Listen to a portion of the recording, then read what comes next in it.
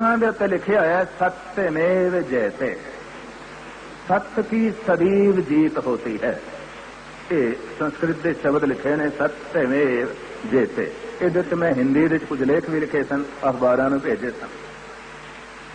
ਤੇ ਇਹ ਜਿਸ ਦਿਨ ਦਾ ਅੰਮ੍ਰਿਤਸਰ ਦਾ ਵਾਕਿਆ ਹੋਇਆ, ਪੰਜਾਬ ਦੇ ਵਿੱਚ ਦੁਖਦ ਘਟਨਾਵਾਂ ਘਟੀਆਂ, ਤੇ ਮੈਂ ਉਸ ਲੇਖ ਦੇ ਵਿੱਚ ਲਿਖਿਆ, ਹੁਣ ਇਹਨਾਂ ਸਰਕਾਰੀ ਇਮਾਰਤਾਂ ਤੇ ਲਿਖ ਦੇਣਾ ਚਾਹੀਦਾ ਹੈ, ਝੂਠ ਮੈਂ ਜੇਬ ਤੇ।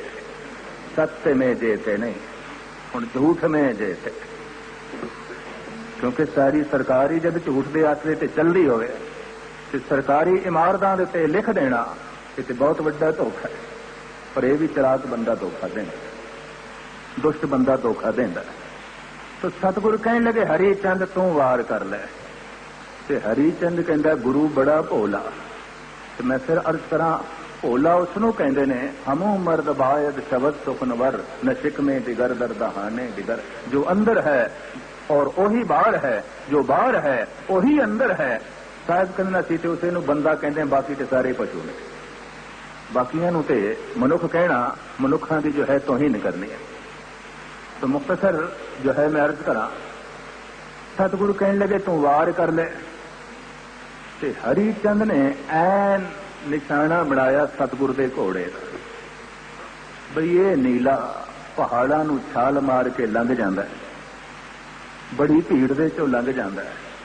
ਤੇ ਐਸਾ ਨਾ ਹੋਵੇ, ਕਿਧਰੇ ਘੋੜਾ ਹੀ ਸਤਗੁਰਾਂ ਨੇ ਕਿਧਰੇ ਭਜਾ ਲੈ ਜਾਏ, ਤੇ ਸਤਗੁਰ ਦਾ ਇਹ ਘੋੜਾ ਹੀ ਪਹਿਲੇ ਜ਼ਖਮੀ ਕਰੋ ਜਾਂ ਮਾਰਦਾ ਸਤਗੁਰ ਲਿਖਦੇ ਨੇ, ਹਰੀ ਚੰਦ ਕੋ ਪਿਓ ਕਮਾਣੰ ਸੰਭਾਰਨ ਪ੍ਰਥਮ ਬਾਜੀਆਂ, ਤਾਣ ਬਾਣੰ ਪ੍ਰਹਾਰਨ ਤਾਜੀ ਘੋੜੇ ਦਾ ਨਿਸ਼ਾਨਾ ਬਣਾਇਆ ਹਰੀ ਚੰਦ ਨੇ ਖਿੱਚ ਕੇ ਤੀਰ ਮਾਰਿਆ, ਪਰ ਸਾਹਿਬ ਕਨ ਲੱਗਿਆ ਨਹੀਂ।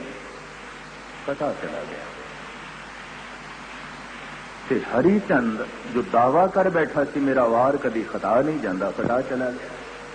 ਔਖਾ ਤੇ ਬੜਾ ਹੋਇਆ। ਤੇ ਨਿਮੂਜੜੇ ਜਿਹਾ ਮੂੰਹ ਨਾਲ ਕਹਿਣ ਲੱਗਾ, ਮਹਾਰਾਜ, ਹੁਣ ਤੁਸੀਂ ਵਾਰ ਕਰੋ। ਤੇ ਸਤਗੁਰ ਕਹਿਣ ਲੱਗੇ ਅਜੇ ਵੀ ਫਕੀਰ ਜਿਹੜਾ ਨਾ ਰੋਸ ਦੇ ਚ ਨਹੀਂ ਆਇਆ ਅਜੇ ਵੀ ਸੰਤ ਦੇ ਅੰਦਰ ਸਿਪਾਹੀ ਪਣਾ ਨਹੀਂ ਪੈਦਾ ਹੋਇਆ ਇਸ ਵਾਸਤੇ ਹਰੀ ਚੰਦ ਇੱਕ ਵਾਰ ਤੋਂ ਹੋਰ ਕਰ ਲੈ ਤੇ ਹਰੀ ਚੰਦ ਅੰਦਰੋਂ ਅੰਦਰੋਂ ਸੋਚਦਾ ਇਹ ਬਹੁਤ ਹੀ ਭੋਲਾ ਹੈ ਬਹੁਤ ਹੀ ਭੋਲਾ ਹੈ ਰਾਜਨੀਤੀ ਦਾ ਬਿਲਕੁਲ ਪਤਾ ਹੀ ਨਹੀਂ ਇਹ ਤੇ ਠਗਾਣਾ ਹੀ ਜਾਣਦਾ ਹੈ तो मैं अर्ज करा जो लफ्ज मैं थोड़े सामने रखने फिर दोहरा दें ਇੱਕ ਦਫਾ ਠੱਗਣ ਨਾਲੋਂ ਹਜ਼ਾਰ ਦਫਾ ਠਗਾ ਜਾਣਾ ਬਿਹਤਰ। ਹੈ ਪਾਪ ਨਹੀਂ ਠਗਣਾ ਬਣਾ ਠਗਣਾ ਪਾਪ ਹੈ। ਠਗਣਾ ਧੋਖਾ ਹੈ। ਠਗਣਾ ਜਿਹੜਾ ਛਲ ਹੈ, ਔਰ ਠਗਣ ਵਾਲਾ ਪਰਮਾਤਮਾ ਤੋਂ ਦੂਰ ਹੁੰਦਾ ਹੈ। ਹਰੀ ਚੰਦ ਨੇ ਅਟ ਕੇ ਸਤਗੁਰਾਂ ਦੇ ਐਨ ਛਾਤੀ ਦਾ ਸੀਨੇ ਦਾ ਨਿਸ਼ਾਨਾ ਬਣਾਇਆ। ਵਿੱਚ ਭਰਸਾ ਹੈ ਦੂਜਾ ਵਾਰ ਵੀ ਮੇਰਾ ਖਤਾ ਚਲਾ ਜਾਏ ਘੋੜੇ ਨੂੰ ਮਾਰਾਂ ਚਲੋ ਛੱਡੋ ਘੋੜੇ ਨੂੰ ਸਤਗੁਰ ਦਾ ਹੀ ਨਿਸ਼ਾਨਾ ਬਣਾਓ ਸਤਗੁਰ ਲਿਖਦੇ ਨੇ ਦੁਤੀਏ ਤਾਕ ਕੇ ਤੀਰ ਮੋਕੋ ਚਲਾਇਓ ਰਖਿਓ ਦੇਵ ਮੈਂ ਕਾਨ ਛੋਏ ਕੇ ਸਿਧਾਇਓ ਉਸ ਦੇਵੀ ਸ਼ਕਤੀ ਨੇ ਮੇਰੀ ਰੱਖਿਆ ਕੀਤੀ ਅਕਾਲ ਪੁਰਖ ਨੇ ਉਹ ਤੀਰ ਮੇਰੇ ਕੰਨਾਂ ਨੂੰ ਛੂ ਕੇ ਲੰਘ ਗਿਆ ਮੈਨੂੰ ਨਹੀਂ ਲੱਗਿਆ ਤੇ ਹਰੀ ਚੰਦ ਹੈਰਾਨ ਹੋ ਗਿਆ। ਦੂਜਾ ਵਾਰ ਵੀ ਖਤਾ ਨਹੀਂ ਲੱਗਿਆ। ਕਹਿਣ ਲੱਗਾ, ਮਹਾਰਾਜ, ਹੁਣ ਤੁਸੀਂ ਵਾਰ ਕਰੋ। ਗੁਰੂ ਗੋਬਿੰਦ ਸਿੰਘ ਜੀ ਦਾ ਜਿਗਰਾ ਵੇਖੋ। ਹਰੀ ਚੰਦ ਲੈ ਇੱਕ ਵਾਰ ਤੂੰ ਹੋਰ ਕਰ ਲੈ। ਹੋਰ ਕਰ ਲੈ। ਸਾਡੇ ਗੁਰੂ ਦਾ ਇਤਨਾ ਵੱਡਾ ਜਿਗਰਾ ਹੈ। ਇਸ ਕੌਮ ਦਾ ਬਹੁਤ ਵੱਡਾ ਜਿਗਰਾ ਹੈ। ਇਸਨੇ 35 ਸਾਲ ਦੀ ਵਧੀਕੀਆਂ ਤੋਂ ਬਾਅਦ ਹਿਮਾਚਲ ਨੇ ਵਿਦਰੋਹ ਕੀਤਾ, ਪਹਿਲੇ ਨਹੀਂ ਕੀਤਾ। 37 ਸਾਲ ਦੀ ਵਧੀਕੀਆਂ ਤੋਂ ਬਾਅਦ ਆਤੰਕਵਾਦ ਨੇ ਜਨਮ ਲਿਆ, ਪਹਿਲੇ ਨਹੀਂ ਜਨਮ ਲਿਆ। 37 ਸਾਲ ਦੀ ਵਧੀਕੀਆਂ ਤੋਂ ਬਾਅਦ ਬਾਗੀ ਪੈਦਾ ਹੋਏ, ਵਿਦਰੋਹੀ ਪੈਦਾ ਹੋਏ, ਮਜਬੂਰੀ। ਬਿਲਕੁਲ ਮਜਬੂਰੀ। ਹਰੀ ਚੰਦ ਨੇ ਅੱਜ ਕੀ ਸਤਗੁਰ ਦੇ ਕਮਰ ਕੱਥੇ ਦਾ ਨਿਸ਼ਾਨਾ ਬਣਾਇਆ ਵੀ ਪਹਿਲੇ ਮੈਂ ਛਾਤੀ ਨੂੰ ਤੀਰ ਮਾਰਿਆ ਤੇ ਉੱਚਾ ਹੋ ਗਿਆ ਤੇ ਕੰਨ ਦੇ ਕੋਲੋਂ ਲੰਘ ਗਿਆ, ਅੱਜ ਕੀ ਸਤਗੁਰ ਦੇ ਕਮਰ ਕੱਸੇ ਦਾ ਨਿਸ਼ਾਨਾ ਜੋ ਹੈ ਬਣਾਉਣਾ ਹੈ। ਤੋਂ ਬੜੀ ਸੇਧ ਲਾ ਕੇ, ਐਨ ਖਿੱਚ ਕੇ ਤੀਰ ਸਤਗੁਰਾਂ ਦੀ ਬੇਟੀ ਨੂੰ, ਕਮਰ ਕੱਸੇ ਨੂੰ ਉਸਨੇ ਮਾਰਿਆ। ਮਹਾਰਾਜ ਕਹਿੰਦੇ ਨੇ, ਤਿਤੀਏ ਤੀਰ ਮਾਰਿਓ ਸੋ ਪੇਟੀ ਮਝਾਰਨ ਵਿਧਿਯੰ ਤਿਲ ਕਤੰ ਦਵਾਲ ਪਾਰੰ ਪਧਾਰਨ ਤਿਲ ਕਤੰਗ ਰੇਸ਼ਮੀ ਕਪੜਾ ਤੇ ਥੱਲੇ ਇੱਕ ਚਮੜੇ ਦੀ ਪੇਟੀ। ਚਮੜੇ ਦੀ ਪੇਟੀ ਦੇ ਉੱਤੇ ਸਤਿਗੁਰੂ ਨੇ ਇੱਕ ਰੇਸ਼ਮੀ ਕਪੜਾ ਬਣਿਆ ਹੋਇਆ ਸੀ, ਕਮਰ ਕੱਸਾ ਤੇ ਹਰੀ ਚੰਦਰ ਨੇ ਕਮਰ ਕੱਸੇ ਦਾ ਨਿਸ਼ਾਨਾ ਬਣਾਇਆ, ਤੀਰ ਨਿਸ਼ਾਨੇ ਤੇ ਲੱਗਿਆ। ਵਿਧਿਯੰ ਤਿਲ ਕਤੰਗ ਰੇਸ਼ਮੀ ਕਪੜਾ ਫਟ ਗਿਆ। ਚਮੜੇ ਦੀ ਪੇਟੀ ਵੀ ਫਟ ਗਈ। ਤੇ ਮਹਾਰਾਜ ਕਹਿੰਦੇ ਨੇ, ਚੁਭੀ ਚੁੰਝ ਚਰਮੰ ਕਛੂ ਘਾਇ ਨਾ ਆਇਓ। ਇਤਨੀ ਜਿਹੀ ਚੁੰਝ ਸਾਨੂੰ ਲੱਗੀ। ਪਰ ਕੋਈ ਵਿਸ਼ੇਸ਼ ਭਾਵ ਨਹੀਂ ਆਇਆ। ਪਰ ਚੁੰਝ ਲੱਗੀ। ਥੋੜਾ ਜਿਹਾ ਖੂਨ ਨਿਕਲਿਆ। ਪਰ ਜਦੋਂ ਇਹ ਬਾਣ ਸਾਨੂੰ ਲੱਗਿਆ, ਜਦੋਂ ਇਹ ਚੁੰਝ ਸਾਨੂੰ ਲੱਗੇ, ਤੇ ਸਾਹਿਬ ਕਹਿੰਦੇ ਨੇ, ਸਾਡੇ ਅੰਦਰ ਸੁੱਤਾ ਹੋਇਆ ਸਿਪਾਹੀ ਜਾਗ ਪਿਆ। ਤੇ ਫਿਰ ਅਸੀਂ ਹਰੀ ਚੰਦ ਨੂੰ ਸੰਬੋਧਨ ਹੋ ਕੇ ਕਹਿ ਦਿੱਤਾ, ਜਬੇ ਬਾਣ ਲਾਗਿਓ ਤਵੇ ਰੋਤ ਜਾਗ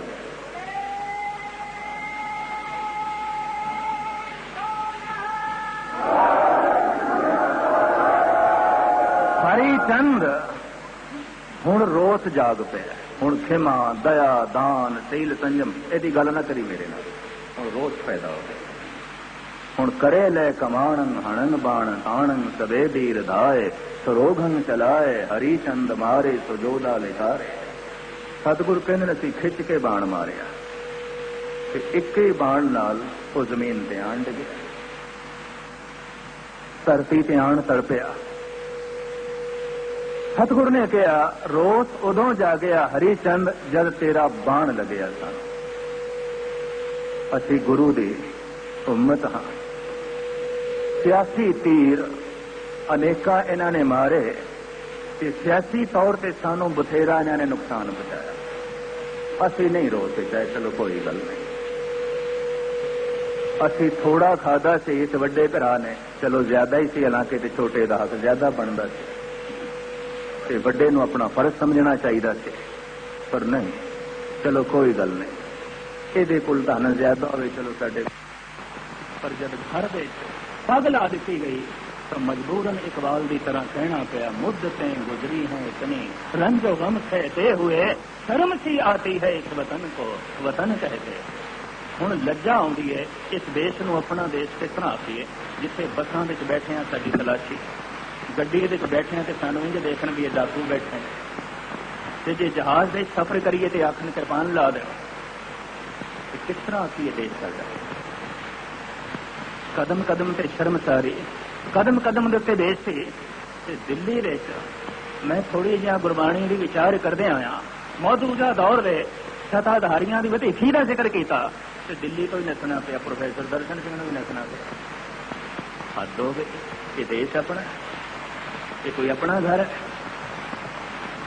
ਜਮਾ ਕਰਨੇ ਮੈਂ ਤੇ ਨਹੀਂ ਕਹਿੰਦਾ ਕਿ ਅਸੀਂ ਇਸ ਘਰ ਨੂੰ ਛੱਡ ਜਾਣਾ ਇਹ ਨਹੀਂ ਕਹਿੰਦਾ फलक को जिद है हम ही पे बिजलियां गिराने की पर हमें भी जिद है यहीं पे आशियां बनाने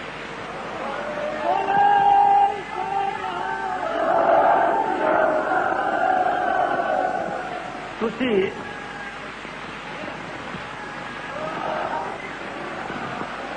ਹਾਂਜੀ फलक को जिद है हम ही पे बिजलियां गिराने की ਪਰ ਹਮੇ ਵੀ ਜਿੱਦ ਹੈ ਯਹੀਂ पे ਆਸ਼ੀਆਂ ਬਣਾਣੇ ਤੁਸੀਂ ਆਪਣਾ ਆਪਣੀ ਜਿੱਦ ਪੂਰੀ ਕਰ ਲਓ ਅਸੀਂ ਹੁਣ ਆਪਣੀ ਜਿੱਦ ਪੂਰੀ ਕਰਨੀ ਔਰ ਸਾਧ ਜੀ ਇਕਾਗਰਤਾ ਪ੍ਰਦਾਨ ਕਰਨੇ तो मैं इतनी अर्ज करा तो मैं अर्ज करा ਦੇਸ਼ ਦੇ ਸਦਾਧਾਰੀਆਂ ਨੂੰ ਕਹਦੇ ਆ ਤੁਸੀਂ ਆਪਣੀ ਜਿੱਦ ਪੂਰੀ ਕਰਦੇ ਜਾ ਰਹੇ ਹੋ ਔਰ ਪੂਰੀ ਕਰ ਰਹੇ ਹੋ। ਤੇ ਹੁਣ ਅਸੀਂ ਆਪਣੀ ਜਿੱਦ ਪੂਰੀ ਕਰਾਂਗੇ। ਔਰ ਜਿੱਦ ਨਾਲ, ਜਿੱਦ ਟਕਰਾਈ ਹੈ।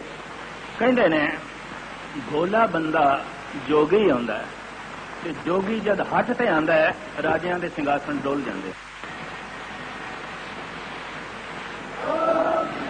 ਸਾਹਿਬ, ਗੁਰੂ ਗੋਬਿੰਦ ਸਿੰਘ ਜੀ ਮਹਾਰਾਜ कल भी इधर पातशाह रहमत करम, बख्शिश करम, समरथा देन, और ताजगी देन